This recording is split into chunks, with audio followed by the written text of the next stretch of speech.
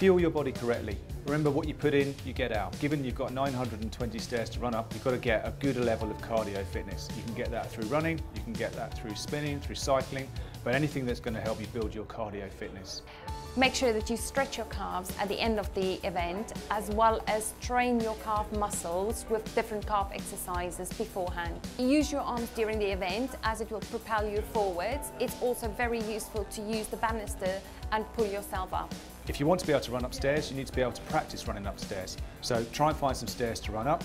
Practice all of the movements, your arms, your legs to power yourself up. Remember, on the day, practice makes perfect.